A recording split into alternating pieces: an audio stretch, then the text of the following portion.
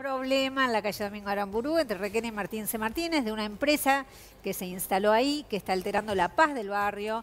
Es una cuadra de casas de familia. Yo sé que el barrio está considerado comercial, pero la realidad es que no sé con qué criterio han autorizado poner ese tipo de empresas ahí, donde estamos afectados todos los vecinos. Entonces yo le pido encarecidamente a la Intendencia de Montevideo que se haga cargo del problema. Yo sé que se están ocupando, pero los tiempos son como muy lentos. Estamos hablando de una empresa que es una empresa muy importante, que seguramente es como ir, con, ir contra un gigante pero los derechos de los vecinos me parece que están ante todos, entonces le pido a la señora Cose que por favor se hagan cargo de este problema, que nos atiendan a los vecinos de manera presencial, que podemos ir un grupito reducido de vecinos para explicar cuáles son los problemas y los perjuicios que estamos teniendo en el barrio. Muy bien, Domingo Aramburú. Entre Requena y Martín C. Martínez. no se puede vivir más ahí, ¿eh?